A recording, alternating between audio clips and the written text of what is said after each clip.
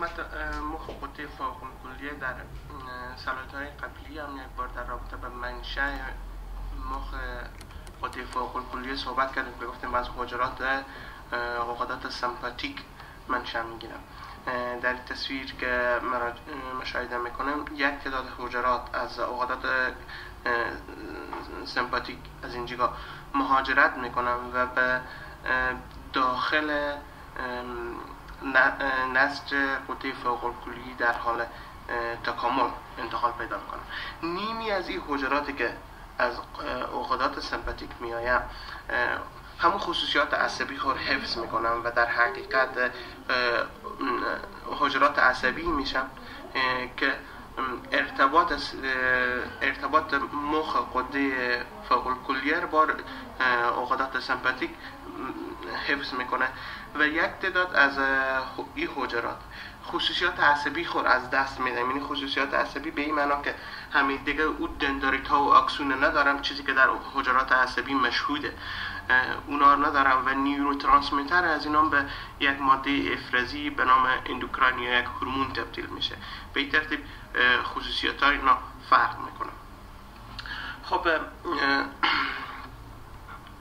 چون که همین گفتم که یک تعداد از این حجرات همون خاصیت عصبی رو به خود می‌گیرم در حقیقت این مسئله رو نشون میده که قسمت مخ قسمت مخ قده فوق کلیه ارتباط عصبی با سیستم عصب مرکزی حفظ می‌کنه.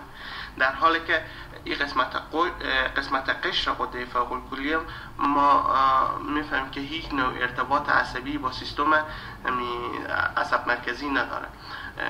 این چقدر چرا اهمیت داره؟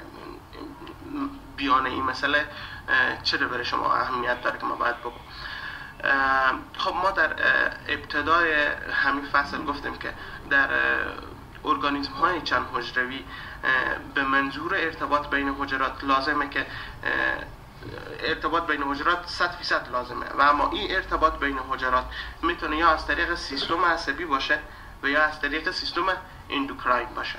شما برای که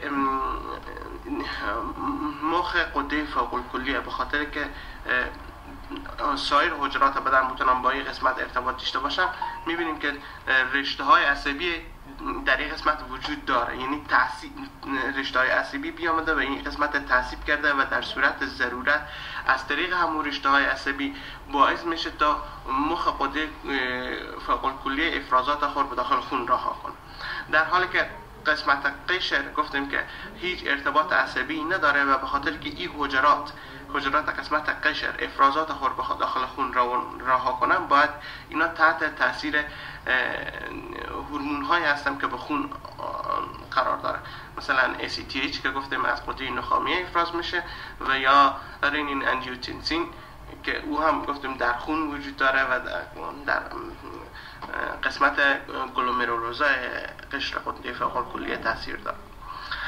خب از نظر این بود از نظر منشأ منشأ که در رابطه به منشأ مخ قطعی فوق کلیه صحبت کردم اما از نظر ماده افرازی باید بگم که حجراتی که در قسمت مخ قطعی فوق کلیه قرار دارم مواد افراز می‌کنم که در کل به نام کاتوکولامین ها یاد میشن دو دو نوع مواد در این خاندان خیلی مهمه. یعنی کل افرازاتی که قده قسمت مخ قده فوق کلیه تولید می‌کنه 80 فیصد یا مربوط به اپینفرین میشه و 20 فیصد یا مربوط به نور اپینفرین میشه.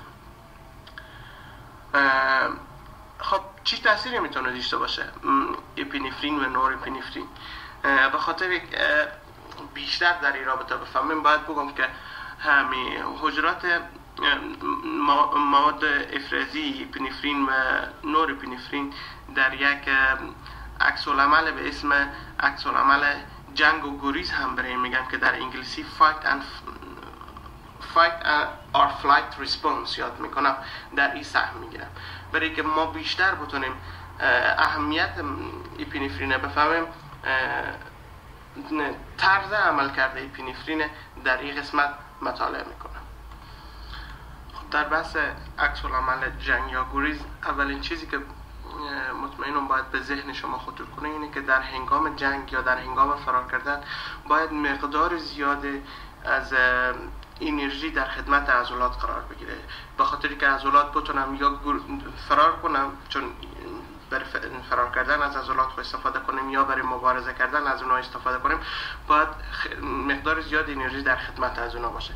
و می خاطر هورمون جنگ یا پینیفرین در حقیقت ذخایر گلایکوژن کبد تجزیه می‌کنه و میزان گلوکوز خونه یا میزان قند خونه بلند می‌بره تا, از، تا تمام عضلات بتونم از این, از این مسئله قند خون استفاده کنم.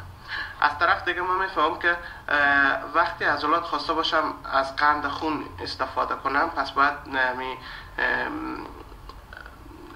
اوینا اوی که به عضلات منتهی میشه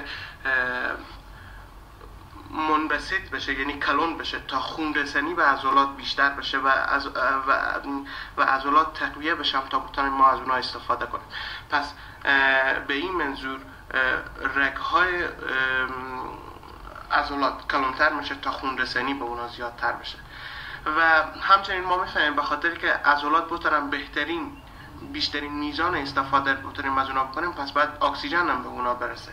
به این خاطر می هورمون اپینفرین همی تمام برانشول ها توسع میده و این باعث میشه جریان هوای بیشتری به داخل ریه ها بیایه و خون اکسیژنشه. و به خاطر که این خون خون اکسیژن شده زیادتر در بدن به گردش باشه و در خدمت تمام عضلات بدن خون اکسیژن قرار گرفته بتونه باید که چکار شه؟ باید قلب بیشتر کار کنه تا که این خون اکسیژن رو به همه جا منتقل کنه.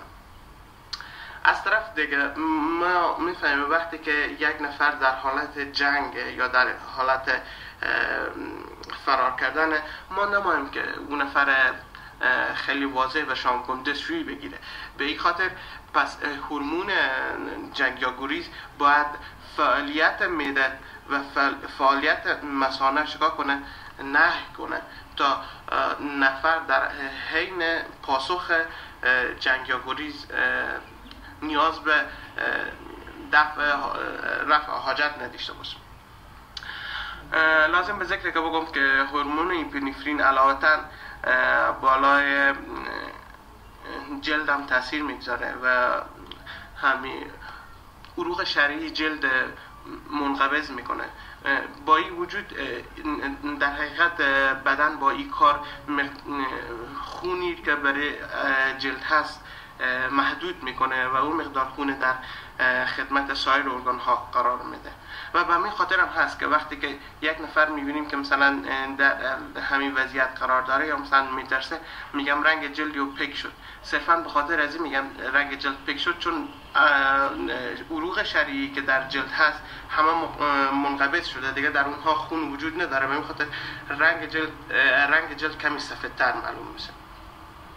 خب هورمون اپینفرین اگر خواسته باشیم خیلی به جزئیات در رابطه به تأثیری و به روی سطح بدن صحبت کنیم فراتر از مضمون هیستولوژی میره و نیازه که وقت بحث های فیزیولوژیک صورت بگیریم. صرفا یک مقداری از مسائل فیزیولوژی که برای شما تشریح کردم تا بیشتر در رابطه به عمل کرده هورمون هایی که از قسمت مخ و قلقلی افراز میشه بیشتر روشنایی پیدا کرده باشیم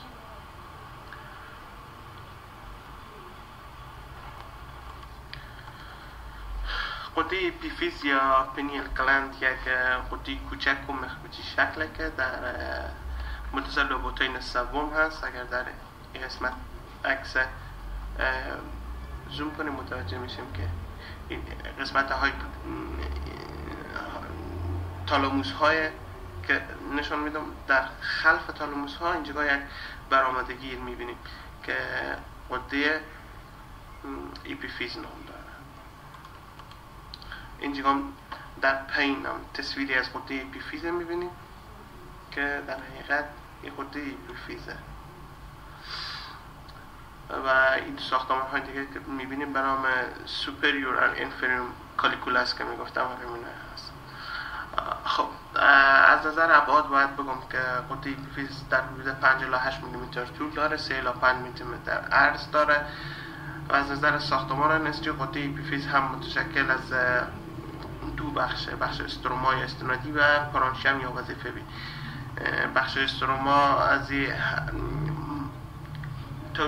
ترتیب شده که کپسول غده ایپیفیز در حقیقت pia mater هست. pia mater یا ام رقیقه از جمله پرده هایی هستند که سیستم عصب مرکزی پوش می‌کنن. و پیامتر عمیقترین اینا. یعنی پیامتر پرده پرده از پرده های سیستم عصب مرکزی است که مستقیما بر روی حجرات عصبی در تماسه در قدی پیفیز هم توسط همین پیامتر پوشیده شده از پیامتر یک تعداد پرده ها همراه با عربیه منشأ می‌گیرم که به داخل قطر نفوذ می‌کنم و قطر به قسمت های ناتام تقسیم می‌کنم. از نظر پارانشیم باید بگم که حجرات اصلی و اساسی در غده ایپیفیز, ایپیفیز به نام pinealocyte ها یاد میشه و در پلوی pinealocyte ها حجرات دیگه هم وجود دارن که به نام glial cell یاد میشن glial cell ها تا حدودی میشه گفت که اگرچه زیاد همین در رابطه به وظیفه از اینا فهمیده نشده در با هم گفته میشه که بیشتر در نسج در رابطه به همین سیستم دفعی یا مواظبت از حجرات همین منطقه نقش داره.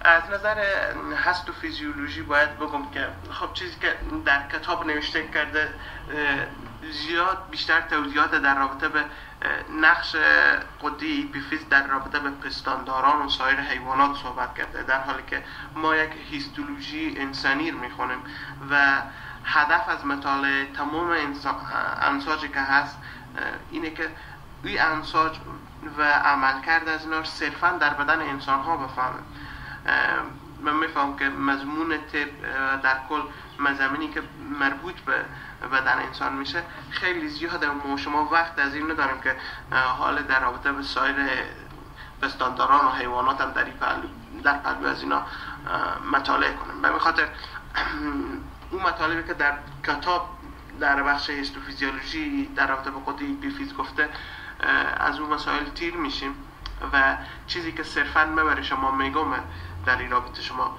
یاد بگیریم. غده ایپیفیز در حقیقت تنظیم کننده سیکل circadian در بدن هست. سیکل circadian یا سیکل شب و روزه سیکل شب و روز هم برای میگم.